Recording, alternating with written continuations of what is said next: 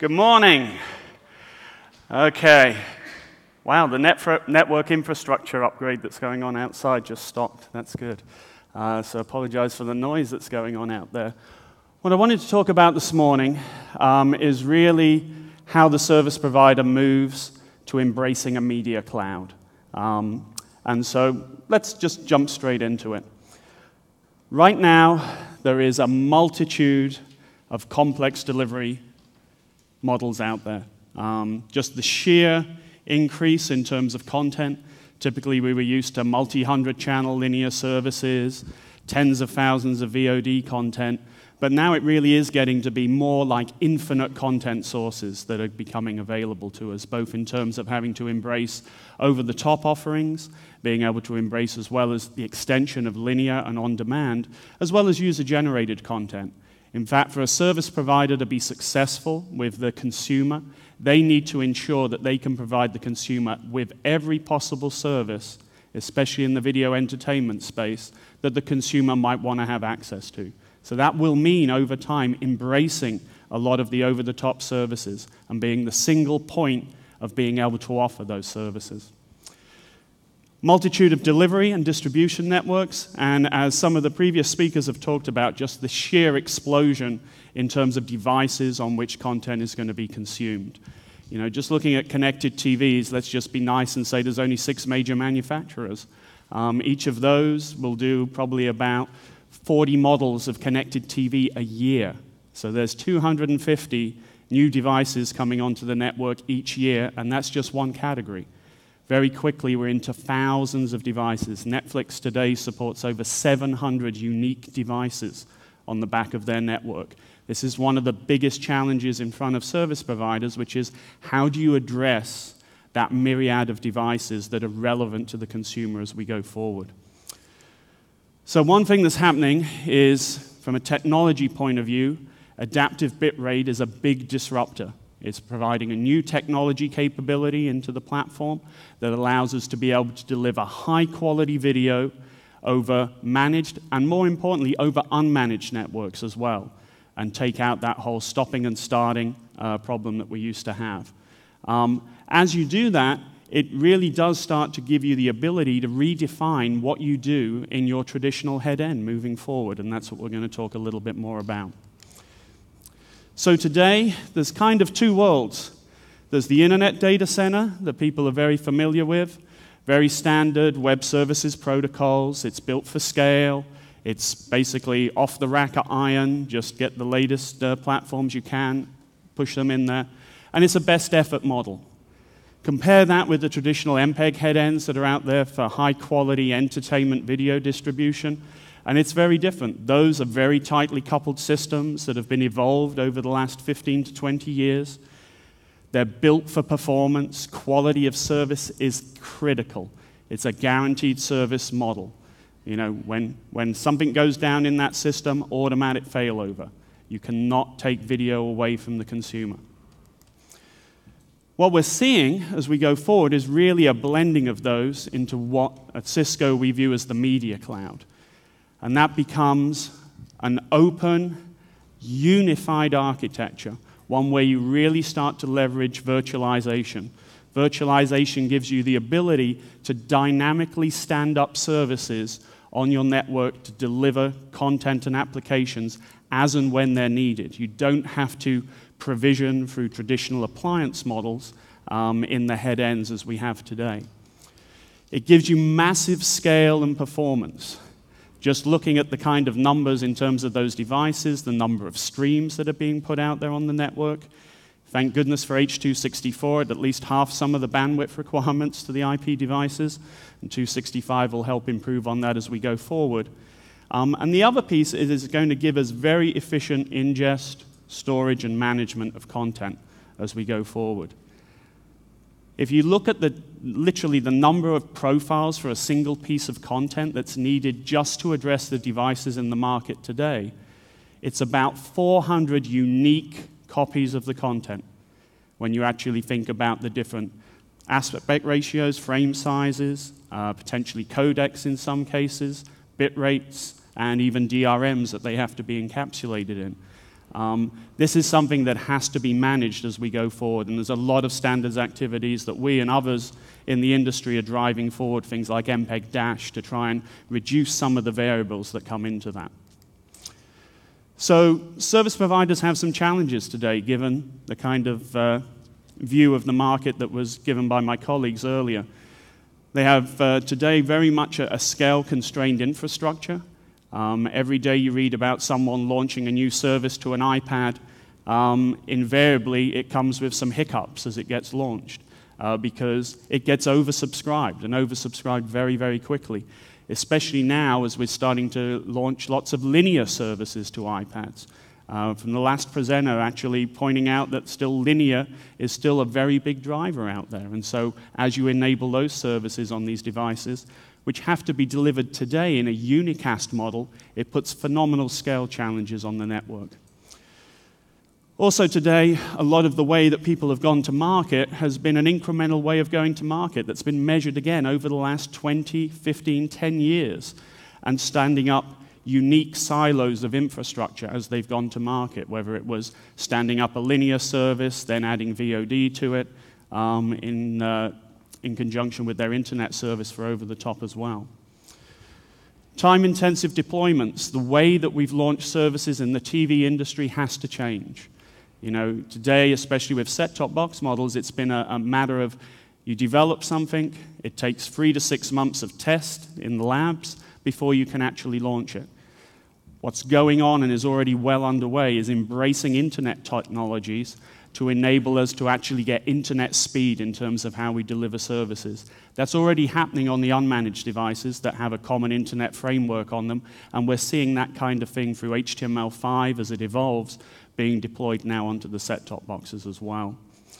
Mission critical applications, as I said earlier, you cannot afford for this to go down. It has to be up and running all the time.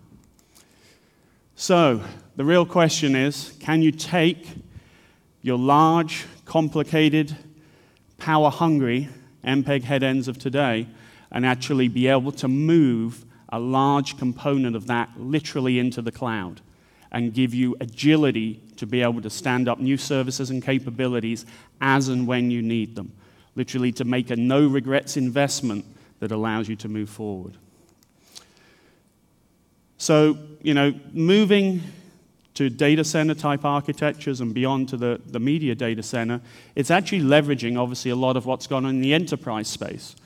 Um, and so when we actually look at some of the savings that happen, this is just from the enterprise space, and then trying to apply it across into the media data center model, you can see as you've taken traditional data centers, moved them to more of a virtualized platform where you can dynamically allocate resources as you go, and then putting them on a common unified compute and storage platform that gives you increased and added flexibility, you get some pretty, very strong savings as you go, both in terms of the cost of the solution, the size of the solution, the power utilization, um, and just your speed to market in terms of launching new services across that. So there's some foundational tenants that we care about um, when you look at the media cloud. Some of these we've talked about in the challenges already. Um, one is leveraging it to deliver both traditional TV and web protocols. We have to break down the silos that exist today.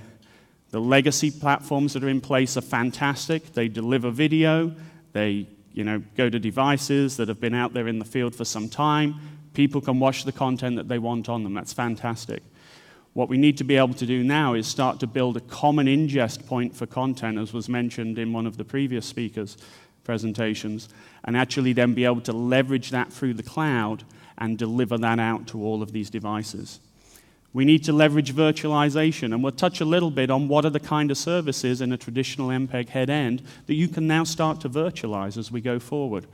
Moore's Law is a fantastic thing, and it is coming to play now in traditional MPEG head end architectures as they evolve to the cloud.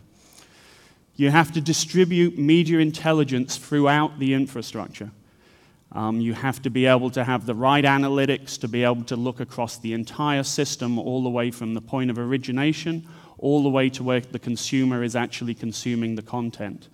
And using that data, be able to dynamically change flows, to be able to do failovers, to be able to stand up incremental new transcoding capabilities based on the demand that you see, to be able to take things from on the fly transcoding to putting them on your content delivery network so they're there as you see the popularity of the content rise.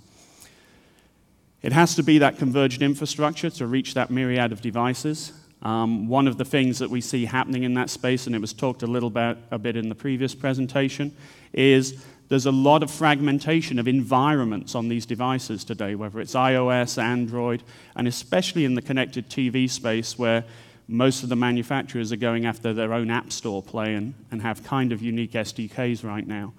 Our view is very simple, which is there needs to be a, a lingua franca out there, and for us, HTML5 is absolutely driving in that direction. It will be very difficult to find one of those devices that does not support an HTML5 browser, invariably in addition to whatever its native environment is, but then you will be able to leverage the cloud to offer content to touch each one of those devices in a very, very economical and scalable fashion.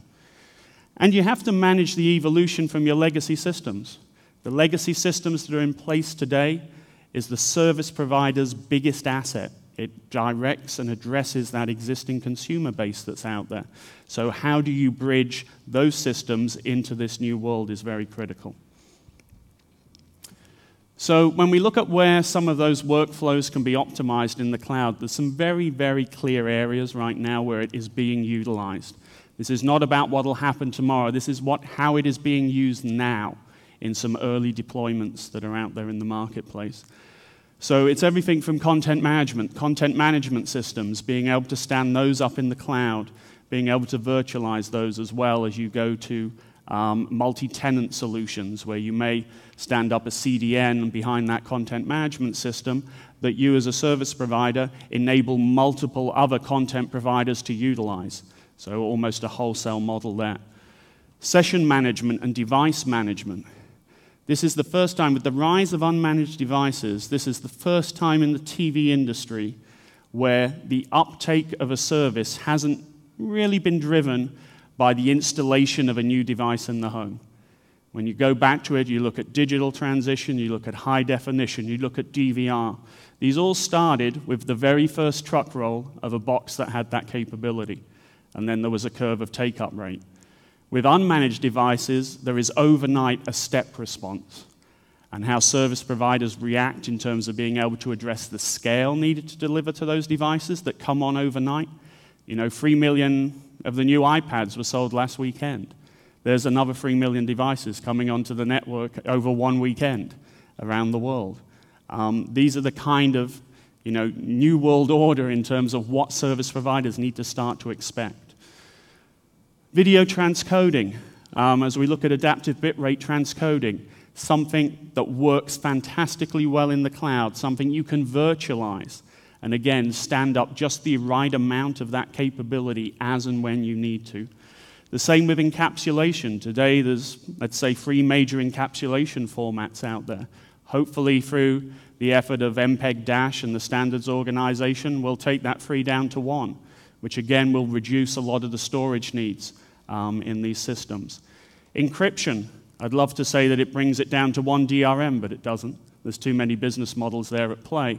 But hopefully, through the activities of Ultraviolet and other uh, industry consortia out there, we're going to see probably a handful of DRMs that are prevalent. And again, the application of DRM and encryption can happen very readily in the cloud on a virtualized platform, on a unified compute and storage platform. So, getting those common workflows in place is going to be critical as we go forward. Here's an example of um, some deployments today. So, when you start to look at standing up an adaptive bitrate head end, well, let's just say you've got 150 channels, uh, which is a, is a normal sized uh, installation today. When you move that to more of a uh, unified and compute blade model, um, you get some phenomenal savings uh, in rack space, just the cables and the operational complexity that it goes from a back end that looks like the thing on the left to what you see on the right. Um, and perhaps more importantly, going from 150 management interfaces to one. The operational savings in this cannot be underestimated. Everybody focuses on where's new ARPU coming from, and that's a great thing to focus on. But we have to understand that the complexities that we're adding to these systems as we go forward makes it a potential operational nightmare. So we have to focus on everything we can do to reduce the operational complexity for the operator, and by extension of that, for the consumer as well in the home. So when we look at some of the benefits that come out of these kind of approaches, obviously increased services scale, the ability to drive on a common and proven platform the performance gains that we've been talking about, being able to stand up new services very, very quickly and start to address internet time in terms of video entertainment delivery, and also reduce costs uh, both in terms on the operational side that I was uh, talking about, in terms of training and things like that, but also in terms of a world, you know, a, from a green perspective. It's lower power, lower cooling requirements, lower real estate, and most importantly, lower complexity as well. So, some of you may be familiar with Videoscape, uh, which is our end to end architecture for uh, video entertainment delivery. One thing we recently did uh, earlier this year is actually took this system and uh, independently, uh, the European Advanced Network Testing Center went through and validated that.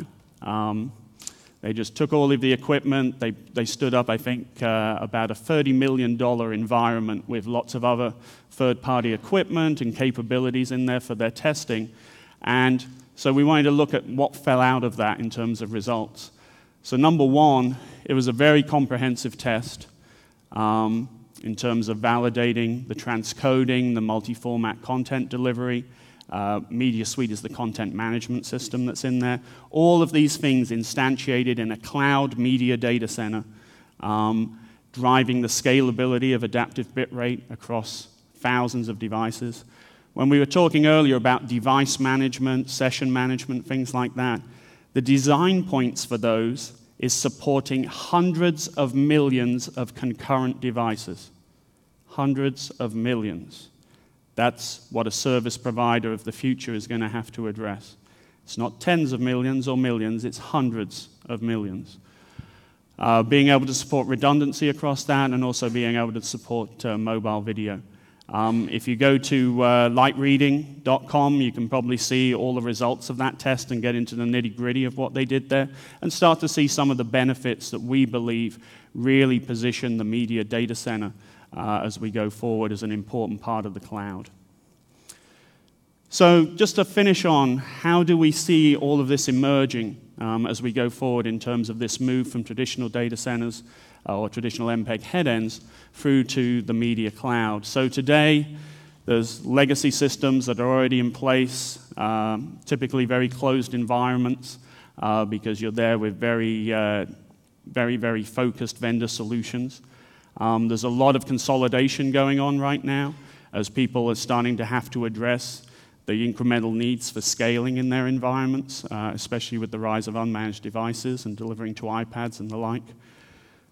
People are implementing the Blade solutions in terms of the unified compute platforms so that they can suddenly have literally a rack in a head end and they can dynamically configure what that rack's doing. One day it could be doing, you know, a whole bunch of uh, offline transcoding for VOD, and the next day it could be used to actually address some incremental linear live encoding requirements. Uh, you have that dynamic capability. Virtualization applies across the board as we go forward. It is the way that you will ultimately deliver the efficiency and scale that you need and have even more flexibility. And all of this leads you to the media cloud. And in the media cloud, it's also about having a unified network management capability. We talked earlier of that example where there was one management interface. Again, you have the ability to consolidate those management interfaces into those devices when you have a standardized, unified platform underneath it. So, with that, wow, 36 seconds. Oh, thank you. thank you very much, Ken.